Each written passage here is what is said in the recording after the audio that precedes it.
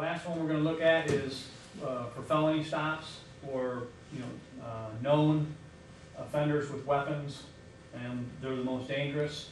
So, um, we're gonna put them down on the ground. We'll tell our suspect, and most likely you'll have a cover officer when you do this, okay?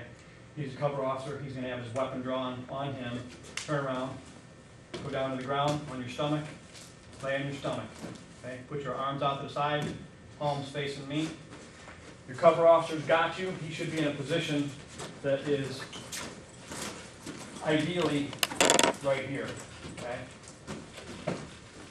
Now, what, what you're gonna do here is, if you notice, if you notice now, I don't have my handcuffs out, okay? Because I gotta deal with getting this guy secured pretty fast.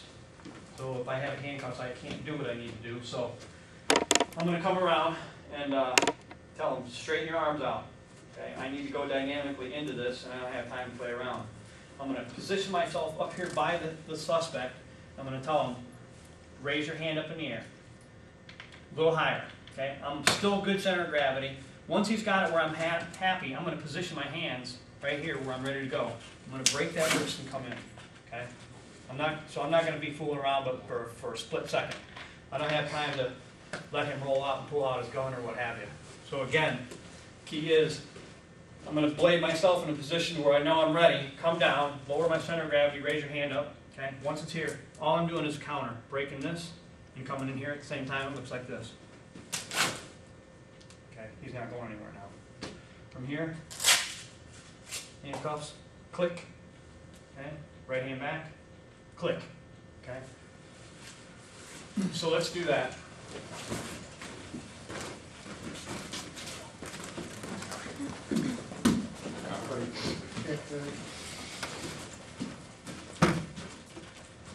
Alright, turn around, face away from me. Lay on the ground. Put your palms up.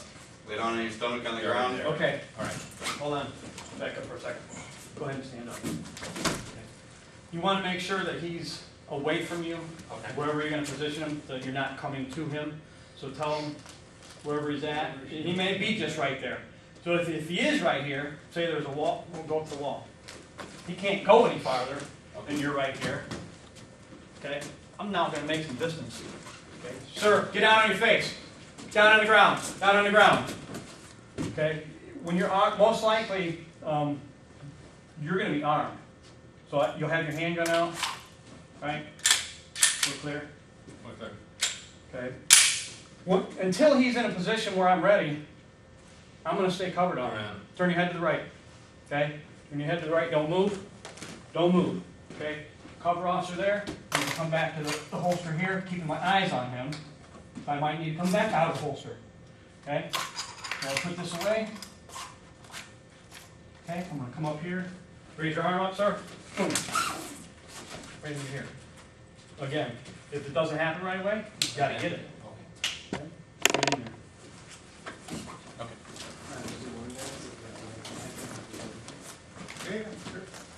Sir, take two steps forward, get down on the ground. Chest down.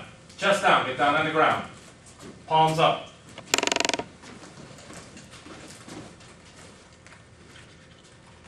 Nope, no Not hand. yet? Okay. Um, raise your arm up, sir. Raise it up. Okay, when, you- before you tell him to raise it up, Okay. you wanna be already in your position. So I'm gonna come right here. When I'm here, then I'm gonna tell him to raise it up, because I'm not gonna be here but for a split second. Turn your head to the left, right?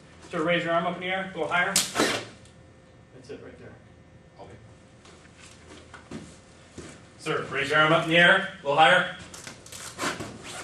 There you go. Oh, I'm sorry. Okay.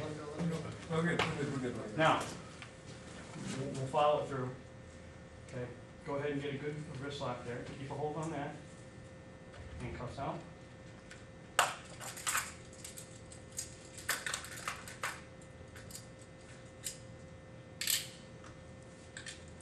Bring your other arm up, sir.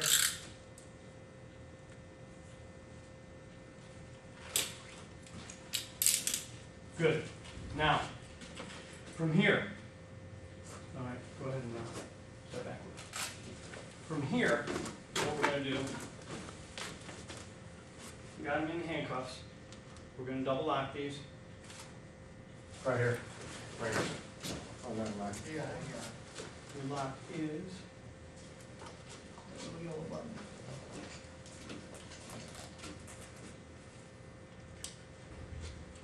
It's locked. It's locked. Give it a click. And put this away. From here, what we're gonna do is we're gonna search him. Because we know most likely he's got that gun and that knife. So what I'm gonna do from here, I'm gonna go ahead and grab him right here. I'm gonna roll him over onto me. I'm gonna pin him right here, okay? Go that gun, secure the gun in my belt line to your partner, okay? And from here, I'm gonna continue that search. Start my crimping here. What do you suggest, in your belt line, or should you give it to your, uh, partner? Well, you might not have a choice. I have a choice. If it's, if you're by yourself, it's gonna go in your belt line. If your partner's there, you can give it to him, okay? And the searching here. Go ahead and grab hold here. Continue the search down. Pull it up. Okay, search here. Okay, once I'm satisfied here, I'm gonna go ahead and release him. Now, I need to go to the other side, right? So the shortest way is to get there, right here. So I'm gonna maintain my hold here, right around this way, boom. Okay, take him, roll him up towards me. Okay, got him right here, search, look, we're done. Now, from here, we gotta get him up. You're gonna get some big boys down on the ground. 250, 300, I don't know, but we gotta get him up. So, again, we gotta tell the suspect to do the work, talk to him. Sir, I'm gonna roll you over, I want you to sit up, you understand? Yep. Okay, do it now. Okay, sir, I'm gonna go ahead and stand you up. I want you to pull one leg in, roll forward to your knees. Do it now. Stand up. He did all the work, I didn't do it. Okay? Think about what you're doing. Don't throw your back out for this scumbag. Tell him to do all the work make sure he understands it, yep, do it now, done. Um, and you can unhandcuff him.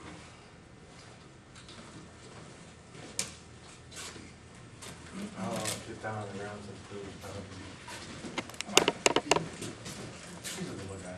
I don't want him to see that. I hope you got that on video.